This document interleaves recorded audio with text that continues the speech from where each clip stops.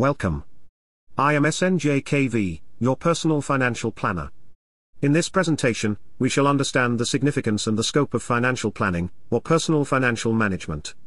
I have recorded this video on the 1st of September in the year 2020. Yet, if you are watching or listening to this at a later date, even many years in the future, understand that the fundamentals, the idea of planning, and the need to plan do not change with time. So, whenever you are listening to this, this video is going to be largely relevant. Let us delve into the world of financial planning. So, what is financial planning? From my learning and experience as a professional, I define it thus. Financial planning means evaluation of personal financial position of an individual or a family, identifying financial needs and choosing financial goals, and apportioning current and future assets, cash flows and time in the most rational manner to make the apportioned resources work best, and help seamlessly realize the prioritized needs and goals when they are due. Let us break this down and understand it better. The first thing the definition says is, evaluation of personal financial position. That means, one must understand how one is faring financially, be it a lone individual or a family. To simplify further, it means, knowing one's various sources of incomes, recurring and non-recurring or random expenses, and listing one's asset and liabilities etc. This helps in knowing if one has a surplus of cash flow, or if one is overspending. Listing of assets and liabilities give a picture of current net worth. That is, has one more assets than their loans and liabilities, or is it vice versa? This is very essential in the planning process. In fact, every step, whether small or big, is important in financial planning. So, step 1 is to evaluate the personal financial position like this. Then, the definition says, identifying financial needs and choosing financial goals. Every person or a family has various needs and aspirations or wishes in life. Meeting those needs and realizing the aspirations generally costs money. Without proper planning and foresight, one may find it difficult or even impossible to achieve those goals and needs, whenever they may be due. So, in financial planning, after evaluating the present financial position, all foreseeable needs and goals are identified carefully. At this point, I want you to pay attention to the last few words of the definition where it says, realize the prioritized needs and goals. The important word here is, prioritize. Once all foreseeable financial needs and desired financial goals are identified, one must prioritize them thoughtfully. If you sit with a financial planner to get help with your personal finances, you will, at a later stage in the process understand why prioritization of needs and goals is important. For now, Simply remember that a financial plan prepared without prioritization of needs and goals can force an individual or a family and the professional to work the entire financial plan again, which is a very tedious process, and it can result in the planner charging an extra fee for the extra time spent that could have been avoided. So, step 2 in the process as per the definition is to identify the needs and goals. And, step 3 is to prioritize them. The definition then says, apportioning current and future assets, cash flows, and time in the most rational manner to make the apportioned resources work best. If one has already evaluated one's personal financial position as said at the starting of the definition, one may have already a list of various income sources and assets. One may also have a list of loans and liabilities that have to be paid off sooner or later. It is natural that sometimes, people mark certain investments and assets to various needs and goals. For example, a residential plot or a piece of land may be marked for pre-closing a housing loan, or an insurance plan may be linked to wealth creation in the long term, without any specific time horizon etc. Now that you have understood the definition, let us take a quick look at it again. Financial planning means evaluation of personal financial position of an individual or a family, identifying financial needs and choosing financial goals, and apportioning current and future assets, cash flows and time in the most rational manner to make the apportioned resources work best, and help seamlessly realize the prioritized needs and goals when they are due. I suppose you have now got at least some basic idea as to what financial planning might be. But, do not hurry. There is more to understand about the idea before you can take an informed decision. Who is a financial planner? A financial planner is a professional who has relevant education and experience, and follows a systematic process to help an individual, or a family achieve their financial needs and goals. It is not just any process he or she desires, but an established and universally accepted standard.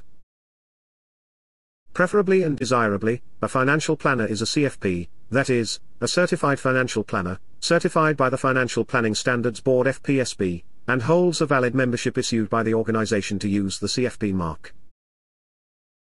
It is not uncommon for other categories of advisors and some sales professionals working in the banking, financial services, and insurance domains, to contest in a defensive tone, whenever I, or some qualified CFP says that the term financial planner is synonymous with CFP. They argue that they also do financial planning for their clients. In fact, some of my former colleagues in the broking firms where I worked in the past used to often say, I do oral financial planning for my clients, or, I do financial planning for my clients, it is only that I do not have a certificate and so on. While I appreciate their inclination to provide comprehensive advice to their clients, or their enthusiasm in the financial planning process, I do question the practice. Perhaps those advisors or professionals truly provide holistic advice to their clients. But, what standards do they follow? Who are they governed or supervised by, as regards the financial planning they say they do for their clients? Who are they answerable to if their advice is not suitable to their clients and the clients suffer financially and also otherwise, because of the unqualified advice rendered and availed? While the desire to deliver comprehensive advice is admirable and appreciable, every professional must follow certain standards. Do we accept if some random person researches symptoms for various drugs on the internet, and with general knowledge obtained therefrom, opens a clinic and starts administering medical care, or prescribes medicines to the visiting patients for a fee? Can we appreciate some previously lay person, who buys and studies law books leisurely, opens an office, and starts advising clients on legal issues for a fee? Who is a better person to design a building or a construction? A mason? Or, an engineer or an architect? Who do you prefer? To be certified as a financial planner, to become a CFP, an individual must comply with four aspects of the certification process namely, education, experience, examination, and ethics. In the first step, the candidate desirous of becoming a CFP must study rigorously, and complete all educational courses covering the content outlined in Financial Planning Education Framework localized for a territory, by FPSB. On one side, the study ranges from a variety of laws governing a diverse list of topics such as labor laws, securities laws, public liability, employee benefits, ombudsman, investments, insurance, direct and indirect taxes, inheritance and succession, etc., to various regulatory bodies and their functioning, corporate affairs, policies, and procedures. On the other hand, the candidate must show command on various financial formulas, analytical methods to evaluate financial products and their suitability to the financial needs and goals of clients, portfolio management, financial risk and insurance management and so on. Such an extensive study makes a CFP widely knowledgeable, and superior to other types of advisors in the field of financial advisory. Experience is one of the four criteria, verified before a candidate is conferred CFP certification. The experience criterion is considered a necessity for the candidate to apply his or her financial planning knowledge and skills in one or more of the competency profiles outlined under the financial planning curriculum framework. It is important that a candidate demonstrate his or her capability by way of an acquired work experience that involves the development of a financial plan. The candidate is then tested for his versatile advisory skills and his or her ability to apply the theory in practice to varieties of financial situations. Upon successfully passing all examinations, and holding the minimum required professional or working experience in the financial services industry, the candidate is awarded the CFP certification and allowed to use the CFP mark. Before awarding the membership finally, the candidate must agree to abide by the professional code of ethics established by FPSB. FPSB has incorporated ethical behavior and judgment, and compliance with ethical standards, into the global standards for CFP certification. FPSB ethical principles are statements expressing in general terms the ethical standards that financial planning professionals should adhere to, in their professional activities. These principles reflect financial planning professionals' recognition of their responsibilities to the public, clients, colleagues and employers. The principles guide the performance and activities of anyone involved in the practice of financial planning. The concept and intent of these principles are adapted and enforced on CFP professionals by FPSB members, through territory-specific rules of professional conduct. The eight principles or codes of ethics are, client first, integrity, objectivity, fairness, professionalism, competence, confidentiality, and diligence. Adhering to these codes of ethics, a CFP is a thorough professional in the subject of personal financial management, which is more than enough reason to consult for advice relating to money matters. After all that has been said, let us understand one more time in a different aspect why must one plan their personal finances. There are three compelling reasons for having a financial plan. In the absence of these three, there is no need to go through such an elaborate, comprehensive, and complicated process to achieve financial needs and goals. Let us see what the three reasons are, and understand how significant they are in the process of financial planning. The first one is uncertainty. Everyone agrees that life is uncertain and everything about life is uncertain. Money matters are no exception. After all, financial matters and life are not independent of each other. In different contexts, uncertainty has different meanings. However, in the present, we are concerned with the unexpected or unforeseen happenings in life that can create or escalate financial burden. One cannot be sure about life. Let us take some examples. Early death is as much a possibility for a road crossing pedestrian, as it is for a motoring youth. There is no guarantee that an employee will not be laid off the next day. In a country like India plagued by caste-based reservations, a student may lose the chance to get a free seat into a university and be forced to pay a hefty fee or donation for admission, to a private institution. One may have to suddenly travel to a different place to attend to personal, and pressing matters. Or, a friend who has always been our savior may suddenly come running for help. The list of probable uncertainties in life is limitless. Unarguably thus, uncertainty is one of the three fundamental reasons to have a thorough financial plan in place. The second of the three reasons is inflation. Inflation simply means general rise in price levels. For example, in the late 80s and early 90s, a litre of milk used to cost 4 rupees. Today, in the year 2020, a litre of good quality milk costs 50 rupees. To put it another way, 40 years back, monthly household expenses of a family used to be 200 rupees. Now they are 20,000, that is inflation for the common man. While some argue that incomes also increase alongside expenses, it is an undeniable fact that incomes of salaried employees who form the majority of the earning population do not increase at par or close to the inflation rate in the medium to long term. To understand why inflation is a key factor in determining that financial planning is a necessity, let us take one more example. A person is aged 30. He will work until he is 60, when he will retire. He will live for another 30 years, that is, until 90. Imagine there is no inflation. And, in the absence of inflation, there is no growth in income either. He is earning 30 grand now but his expenses are only 15,000. He saves the rest for his future. He does this for the remainder of his earning phase, that is, until 60. By then, he will have accumulated a corpus that will last for 30 years, until he is 90. Is there any kind of elaborate planning required in such a case? Are not simple savings sufficient to meet a financial need? Is it not evident from these examples that in the absence of inflation, comprehensive and thorough financial planning may not be necessary? Note that lifestyle inflation must not be ignored in the midst of all this, if you know what it means. The final of the three reasons that compel us to have a financial plan is longevity. Yes. While sudden death is an uncertainty that can be catastrophic for families, sentimentally and financially, longevity or long life or living too long is equally important to plan. Imagine someone planning to live until the age of 90 and creating a corpus of 1 million but dies at the age of 60, leaving a million for his family. What do you think will the financial impact be on the family? Now, imagine the reverse. A person wishes not to live beyond 60 and plans for his expenses only till that age, or does not plan at all for, he works till 60 only. But he survives till 90. Now, who will bear all the expenses of this man for the next 30 years? Love and affection of the family members do not bring money or make provision for hefty hospital bills and other old age needs. Do you not agree? I hope you have now understood why and how uncertainty, inflation and longevity are three fundamental reasons to have a financial plan in place without a choice.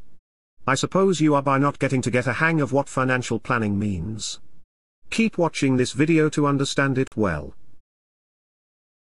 Let us understand the financial planning process as defined by the Financial Planning Standards Board, FPSB, which is a six-step process. The first step is establishing and defining the relationship with the client. For a long time, many students and individuals misunderstood this step as getting to know the client, building a rapport with him or her, and earning the trust of the client.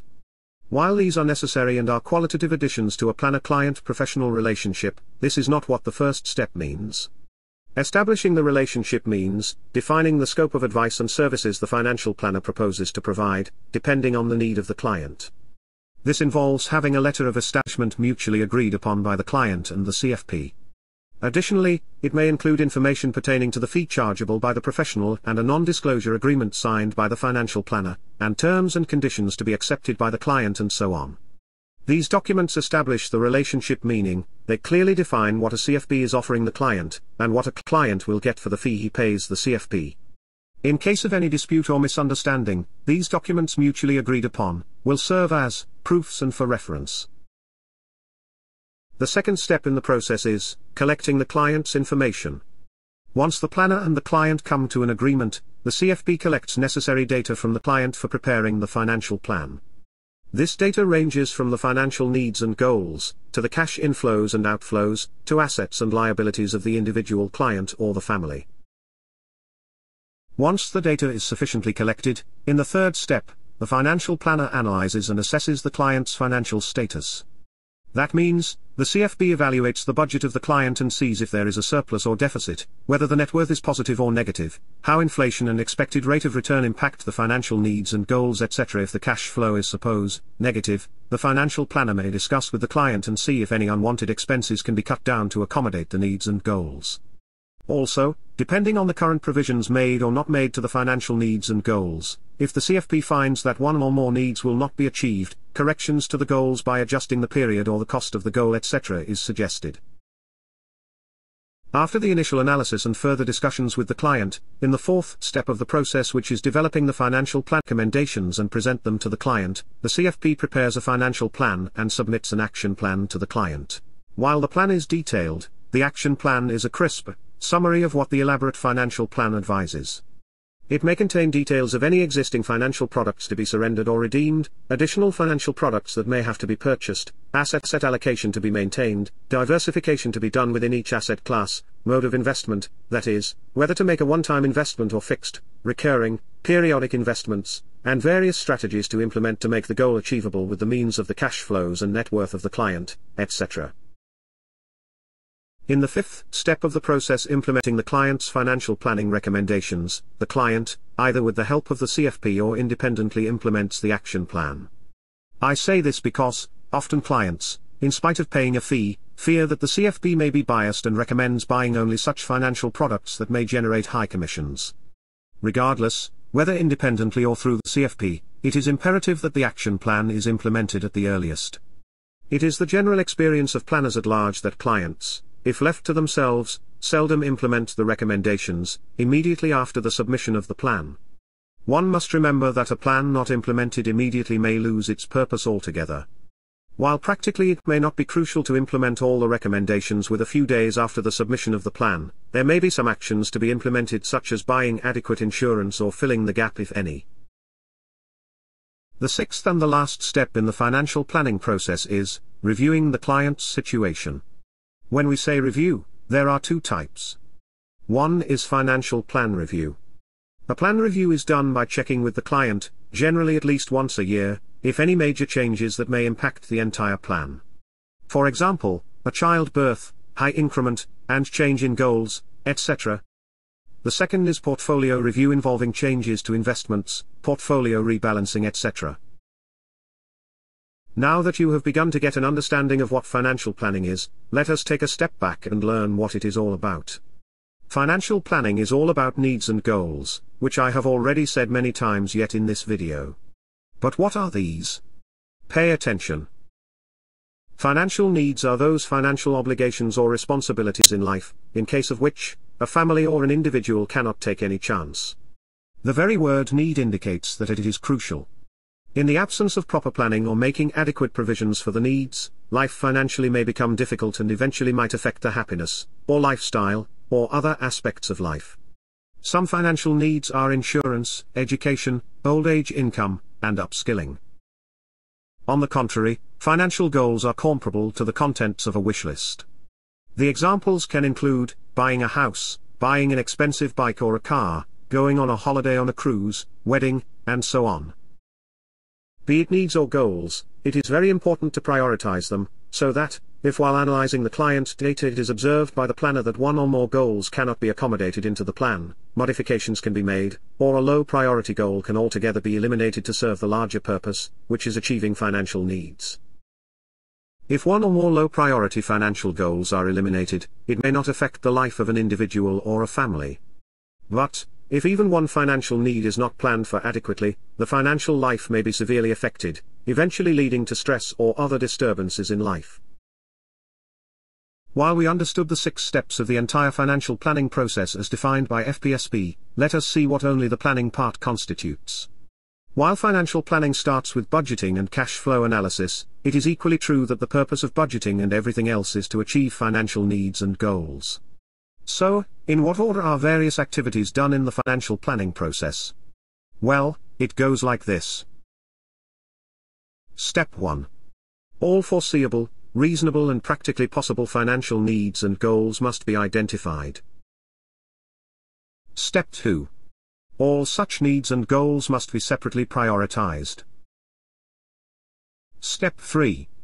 After prioritization, the needs and goals must be quantified. That means, estimating the cost of the need or goal in the present monetary terms, without considering inflation. Step 4. All existing financial products and assets must be apportioned or allocated to the prioritized and quantified needs and goals, by carefully matching them based on the goal period with the maturity of the financial product and priority. Step 5. Future cost or value of all quantified needs and goals must be projected based on their respective inflation rates, and after adjusting the provisions made, any shortfall or gap between the corpus required to be accumulated and the current provisions must be planned for, by making one-time or periodic investments or both, that too, depending on the investment risk profile of the investor or client. Now that you are aware of what financial planning is, let us address that one purse-string question generally posed by a majority of clients and families. Who is financial planning for? Who needs financial planning or such an advice? Is it for the well-off? Or, is it for the poor?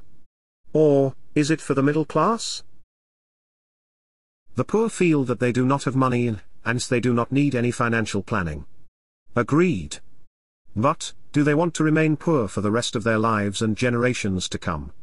Their answer to that questions will be an absolute, no. So, is it for the rich?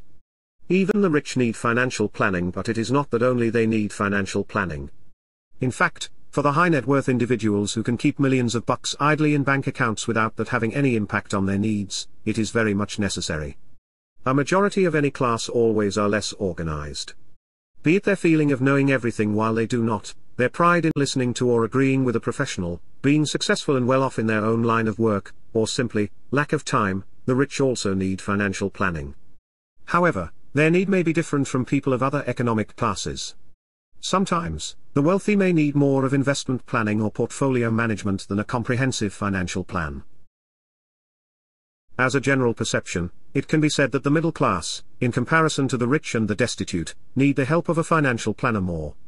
In their constant struggle to improve their lifestyles, middle-class families are generally found to get into debt traps early in their careers, in the form of credit cards, vehicle loans, personal loans and housing loans etc. When they make investments, they go with options such as chit funds, which are neither contemporary nor competent in terms of risk and return, to achieve financial needs and goals.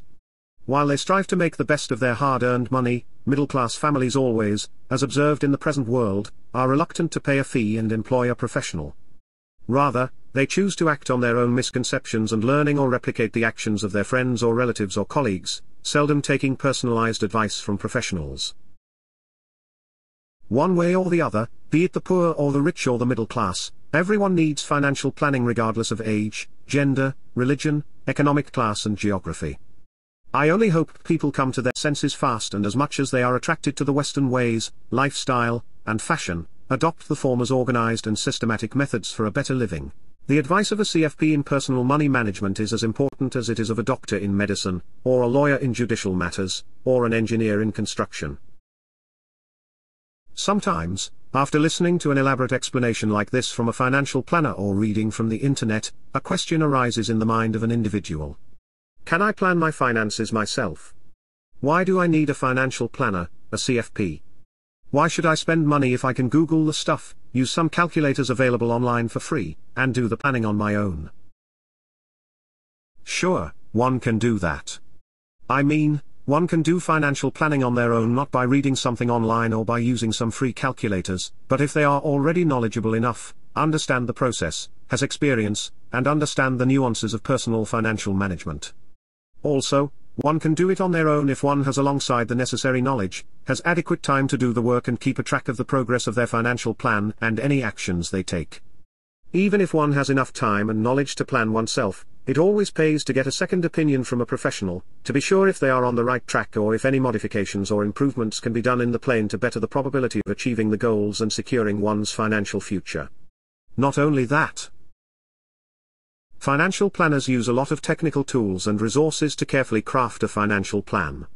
Common people who are not professionals are unaware of such tools or such tools may prove too complicated to use or too expensive for an individual to buy to plan for the needs and goals, for a single use merely because one knows that one has to take aspirin or paracetamol for a headache does not make one as efficient as a doctor. Similarly, merely because one knows how to read a business newspaper or understand what is debated on a business news channel or make an investment in mutual funds does not make one an expert of financial management or successful in achieving financial needs and goals. The need for a CFP can never be ruled out in personal financial management.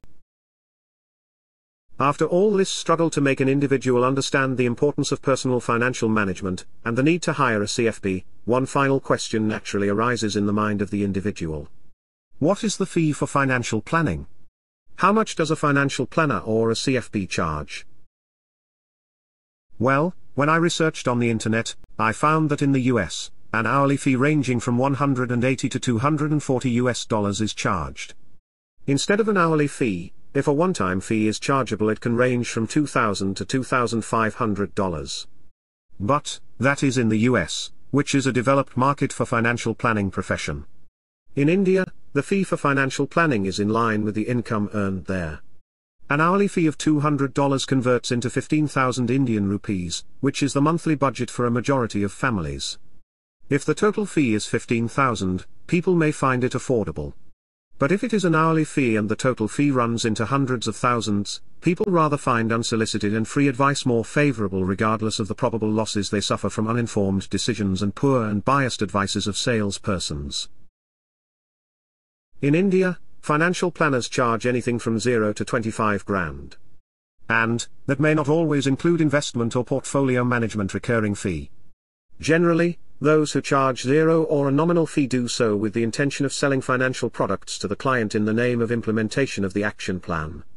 While some genuinely do recommend suitable financial products that match clients' needs, it is always not so. There is a decade-long history of share brokers and financial product distributors providing free financial planning to eventually sell various financial products, most of the time mis-sold.